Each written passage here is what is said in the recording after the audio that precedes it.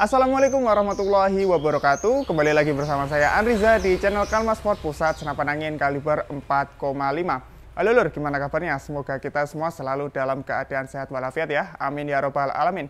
Oke lur, balik lagi di video Kalma Sport. Kali ini kita akan update stok senapan terbaru dari Kalma Sport. Nah untuk senapannya apa? Sudah ada di bawah dulur bediler Langsung aja kita lihat bareng-bareng yuk Oke, jadi seperti ini dulu bediler untuk senapan terbaru dari Karma Sport. Di sini ada totalnya 10 unit PCP Predator Dural OD38. Nah, tapi ini yang chamber tumpuk ya dulu bediler.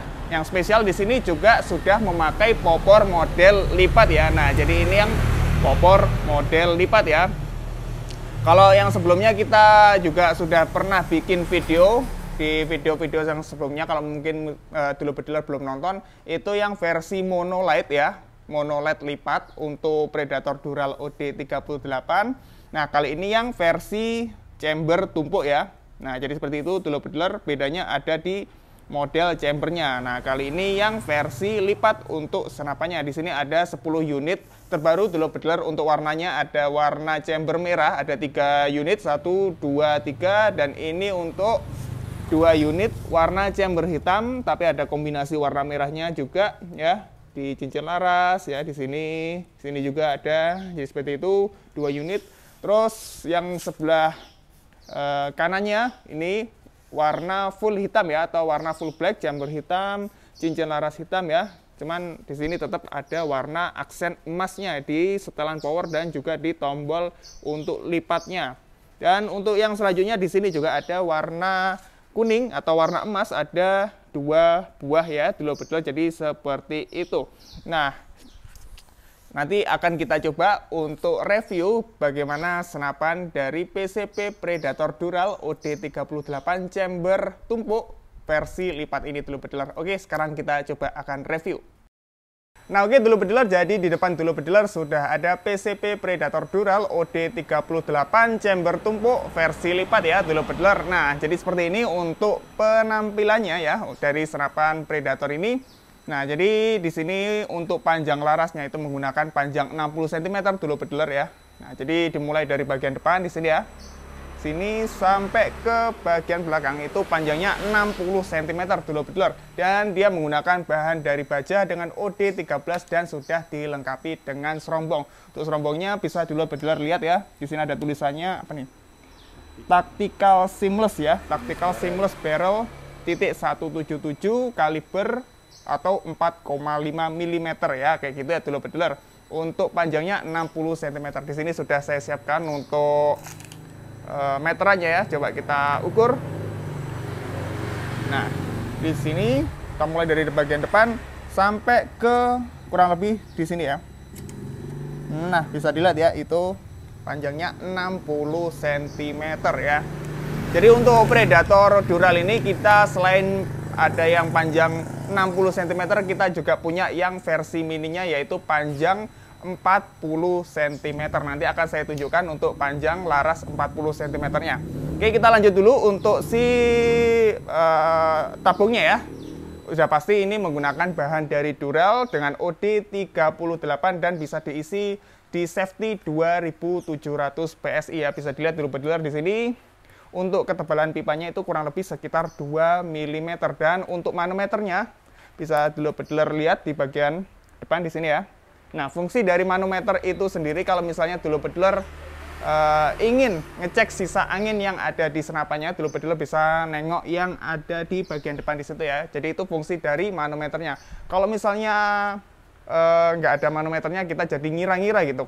Misalnya tembakannya itu udah mulai nggak enak nih. Nah, itu biasanya anginnya sudah mulai berkurang. Jadi kita bisa langsung aja kita lihat dari bagian depan yang ada di senapan itu. Jadi untuk manometernya seperti itu. Terus kita lanjut untuk di bagian di sini ya. Ya bisa dilihat di sini untuk eh, ada suara motor ya. Oke, kita lanjut. Jadi untuk di bagian di sini, ini ada yang untuk ngikat gitu ya antara laras sama pipanya. Nah, ini namanya itu cincin laras dulu bediler. Jadi fungsi dari cincin laras itu ketika si senapan itu ditembakkan, jadi si laras itu tetap stabil ya, jadi nggak goyah. Jadi itu bisa menjaga akurasi dari senapan itu sendiri. Oke, kita lanjut di bagian pegangan ya. Jadi ini itu ciri khas dari si model Predator ya. Jadi taktikal seperti ini. Ini kayak gini ya, dulu bedler untuk ornamen-ornamennya ada bolong-bolong gitu. Wah, keren banget pokoknya. Nah, untuk uh, taktikalnya ini ya atau apa namanya ya popor ya kita nyebutnya popor aja menggunakan bahan dari plastik ABS ya dulu bedler jadi ini bisa dipasangkan aksesoris ya kayak di sini ini ada rail ukuran 22, jadi ini bisa dipasangkan aksesoris misalnya center, itu juga bisa, atau dipasangkan laser scope juga bisa ya. Terus kita lanjut untuk di bagian eh, di bagian bawah deh di sini ya. Nah, di bagian bawah di sini itu juga bisa dipasangkan yang namanya pivot. Jadi kalau misalnya dulu bediler pengen pasang pivot, itu bisa ya.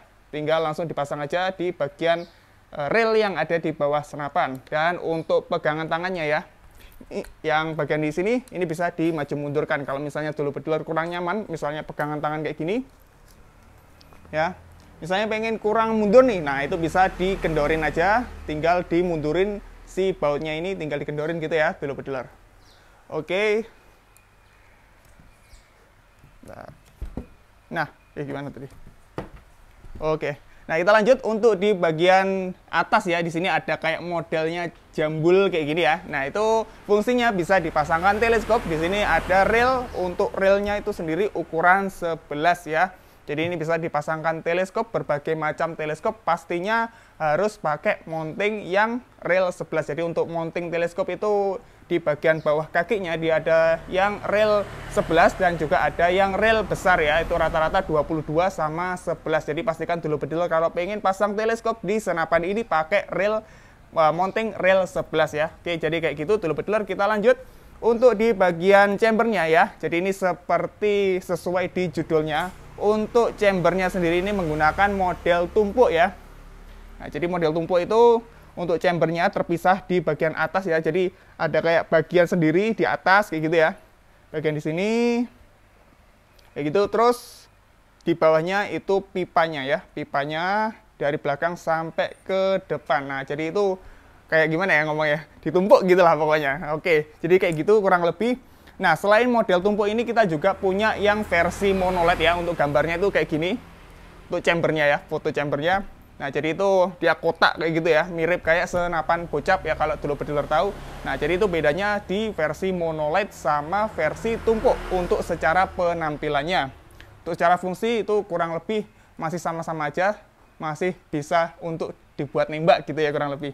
Nah, terus kita lanjut untuk di bagian kiri, bisa dilihat ini untuk pengisian anginnya ya, kupler setengah TSM atau kupler mini. Jadi dulu bediler bisa langsung isi angin tinggal dicolokkan aja selangnya di bagian kiri di sini. Dan untuk pengisian anginnya 2700 PSI seperti yang sudah saya bilang tadi dan bisa dilihat di bagian manometer di bagian depan senapan. Nah, untuk di bagian di sini ya, bagian kiri ini ada yang nongol-nongol ini. Ini yang namanya cancel kokang. Jadi misalnya dulu pediler kalau eh, nggak uh, jadi nembak nih, kita cancel aja di bagian tuas yang ada di sebelah kiri. Kita putar dulu mungkin ya untuk sebelah kanan Nah, jadi ini untuk si kokangnya sendiri ini modelnya side lever satu tarikan ya. Nah, gini kita tarik. Nah, gitu ya, ada sampai bunyi klik gitu.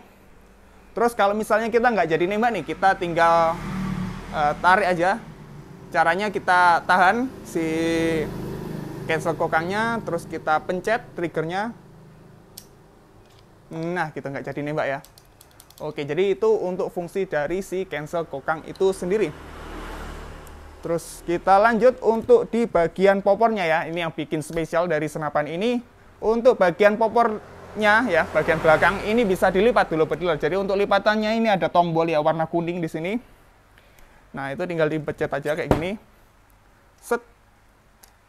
Nah, jadi ini bisa dilipat ya. Jadi penampilannya itu jadi makin ringkas kayak gini dulu bediler. Jadi kalau misalnya dulu bediler pengen uh, pokoknya bawa bawa senapannya ya. Misalnya jalan ke mana gitu ya ke hutan biar nggak ribet ya. Nyantol nyantol apa? Nyantol nyantol tuh. Uh, nyangkut nyangkut ya nyangkut nyangkut nyangkut ke ranting gitu. Nah jadi ini bisa jadi salah satu keunggulan. Misalnya dulu bedel punya senapan versi lipat ya. Kalau cara mengembalikannya lagi itu gampang banget. Tinggal kita ini kita angkat ya. Ini kita angkat ke bagian atas gitu caranya ini jempol nahan di bagian sini. Jempol. Ini ya kita apa ini kita cungkit gitu lah. Nah. Oke nah tinggal gitu aja ya. Ting uh, gampang banget untuk cara ngelipatnya dan juga cara ngembalikannya. Nah selain bisa dilipat ini juga bisa dimaju mundurkan dulu pediler caranya tinggal ini ada tuasnya ya. Nah ini. Nah gitu ya nah ini bisa menyesuaikan uh, postur tinggi dulu pediler ya. Misalnya kalau saya kayak gini ini kan posisinya itu kayak kurang enak gitu ya. Kurang gimana gitu dibuat nembak. Nah ini kita tinggal panjangin aja. Nah kurang lebih kayak gini lah ya. Nah ini baru enak nih posisinya. Jadi pas gitu untuk si apa ya tangannya gitu. Ergonominya itu pas gitu enak. Nah, oke, okay, jadi kurang lebih seperti itu dulu pediler. Saya pasang gini aja. Nah, oke, jadi seperti itu dulu pediler untuk uh, apa namanya? review dari si senapan PCP Predator Dural OD38 uh, versi chamber tumpuk dan model lipat. Sekarang kita coba panjang, eh kita coba panjang, kita coba ukur panjang secara keseluruhan dari si senapan ini. Nah, ini bagian depan sampai ke bagian belakang. Kita nggak nggak panjangin ya kita bikin versi mentoknya aja. Ini berapa nih? 102 102 cm ya. Jadi ketika nggak kita panjangin itu panjangnya 102 cm jadi 1 meter lebih 2 cm Oke, jadi seperti itu dulu pediler terus kita sekarang coba timbang berat dari si senapan itu sendiri. Nah ini ya. Oke udah nol ya. Nah, berapa tuh? Oke, jadi untuk beratnya sendiri ini menggunakan eh menggunakan ini beratnya 3 kilo 460 gram. Jadi 3 kilo setengah kurang 40 gram ya. Jadi tiga setengah dikit gitu. Tiga lebih tepatnya 3 kilo 460 gram. Oke, jadi seperti itu dulu pediler ya. Lumayan ringan untuk si senapannya. Terus tadi apa ya? Tadi mau nunjukin yang versi mini ya, yang laras 40 cm. Di sini ada ya. Nah, jadi ini ya dulu bedeler untuk perbedaannya. Yang laras 60 cm di bawah dan laras 40 cm yang ada di atas yang saya pegang ini. Nah, jadi perbedaannya itu di larasnya pastinya lebih pendek dan juga pipanya juga lebih pendek. Untuk secara power itu sama-sama dulu bedeler Mungkin yang berbeda itu di jumlah tembakannya karena ya wajar aja karena dia itu pipanya lebih pendek otomatis untuk kapasitas dia ngisi anginnya itu lebih sedikit ya. Kayak gitu dulu betul untuk tekanan anginnya itu masih sama di 2700 PSI untuk safety-nya. Cuman untuk di kapasitasnya itu lebih sedikit ya. Di senapan ini dibandingkan yang versi 60 cm ini juga bisa di model uh, lipat ya kayak gini dulu pediler Oke, jadi seperti itu. Untuk harganya sendiri ini dibanderol dengan harga Rp2.400.000 dulu pediler.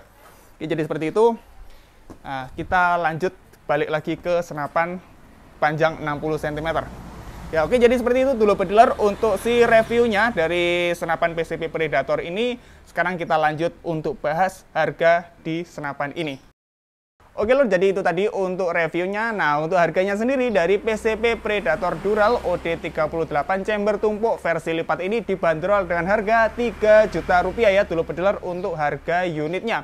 Dulu pediler sudah mendapatkan kelengkapan yang pertama ada magazin, peredam, tali sandang, gantungan mimis, mimis tes, seal set, dan juga ada surat tanda kepemilikan senapan angin. Saya ulangi untuk harganya sendiri yaitu 3 juta rupiah untuk harga unitnya ya. Dan untuk sistem pembeliannya dulu Bediler bisa menggunakan sistem transfer atas nama Anriza Asmi Yahya di Bank BRI atau juga di Bank BCA juga bisa atau juga bisa menggunakan uh, sistem COD via eh, JNE atau juga bisa sistem eh pakai via kantor pos ya. Jadi seperti itu dulu Bediler jadi bisa transfer atau bisa juga pakai sistem COD. Untuk harganya sendiri 3 juta rupiah. Nah, di sini akan saya kasih promo spesial dulu bedeler cukup nambah 100 ribu rupiah aja sudah bisa dapatkan teleskop ukuran 39 kali 40. Nah, jadi untuk teleskopnya seperti ini dulu bedeler ya. cukup nambah 100 ribu rupiah aja dulu bedil sudah bisa dapatkan si senapan ini dan juga tambahan teleskop 394 39 kali 40 nah kapan lagi dulu bedil bisa uh, beli teleskop harga cuma 100 ribu rupiah untuk teleskopnya ini merek dari Basnel spesifikasi 39 kali 40 ya. Cukup nambah 100 ribu rupiah aja jadi totalnya menjadi 3 juta 3 eh, juta 100 ribu rupiah. Dulu bedil bisa bawa pulang senapan PCB Predator Dural OD38 popornya udah lipat di bagian belakangnya di sini dan juga tambahan tele cuman harga 100 ribu rupiah aja. Oke pokoknya mantep dulu bedil. Untuk promonya berlaku di tanggal ini ya. Pokoknya video ini rilis sampai di sini ya Nah itu ya untuk promo si PCP Predator kali ini teleskop hanya Rp100.000. Oke, jadi seperti itu dulu bediler. Pokoknya jangan sampai ketinggalan untuk promo kali ini ya. Langsung saja untuk hubungi kita di CS Kalmar Sport, bisa hubungi di CS1 atau juga bisa hubungi di CS2. Nomornya ada di bawah di sini dan juga akan saya kasihkan eh dan juga akan saya uh, kasih tambahan di kolom deskripsi ya. Jadi dulu bediler bisa klik link aja untuk WA-nya WA CS1 atau juga bisa di WA CS2. Bebas dulu bediler. Monggo tanya-tanya di situ ya.